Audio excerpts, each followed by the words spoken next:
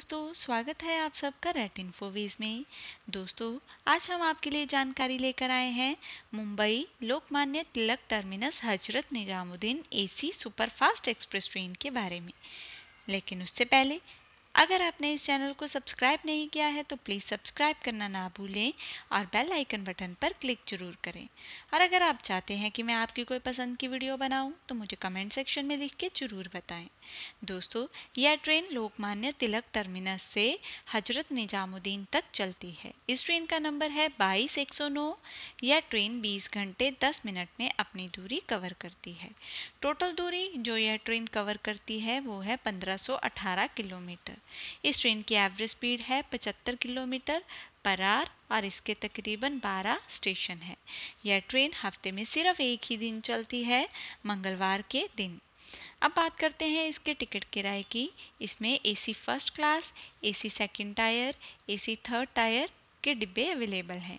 AC first class का किराया है इक्यालीस सौ पैंसठ रुपये ए थर्ड सेकेंड टायर का किराया है चौबीस सौ पच्चीस रुपये ए थर्ड टायर का किराया है सोलह सौ सत्तर रुपये ये अपडेटेड किराया नहीं है दोस्तों। अपडेटेड किराया जानने के लिए आप किसी भी रेलवे की वेबसाइट पर जाकर एक बार ज़रूर कंफर्म कर लें।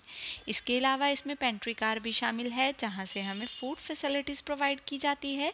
लेकिन इसके लिए हमें एक्स्ट्रा चार्जेस पे करने पड़ते हैं। टिकट के अलावा भी। दोस्तों वीडियो को आगे बढ़ाते हैं और बात करते हैं इसके टाइम टेबल और इसके स्टेशनों के बारे में। यह ट्रेन लोकमान्य तिलक टर्मिनस से हर मंगलवार दोपहर दो, बजकर तीस मिनट पर एक नंबर प्लेटफॉर्म से रवाना होती है। इसका अगला स्टेशन आता है कल्याण जंक्शन जहाँ पर यह दोपहर के तीन बजकर पाँच मिनट पर पहुँचती है और दो मिनट के स्टॉप के लिए रुकती है।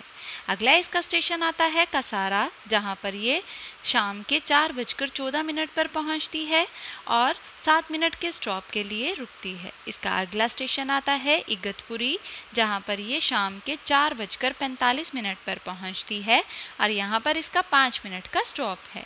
इसका अगला स्टेशन आता है दोस्तों नासिक रोड, जहाँ पर ये शाम के पाँच बजकर अट्ठाईस मिनट पर पहुँचती है और दो मिनट के स्टॉप के लिए रुकती है। अगला इसका स्टेशन आता है मनमाड़ जंक्शन जहाँ पर ये शाम के छः बजकर चौबीस मिनट पर पहुँचती है और एक मिनट के स्टॉप के लिए रुकती है। इसके बाद ये अपने अगले स्टेशन भूसावल जंक्शन पर पहुँचती है। रात के आठ बजकर पंद्रह मिनट पर और यहाँ पर इसका पाँच मिनट का स्टॉप है। अगला इसका स्टेशन आता है दोस्तों भोपाल जंक्शन जहाँ पर ये रात के दो बजे पहुँचती है और यहाँ पर इसका दस मिनट का स्टॉप है।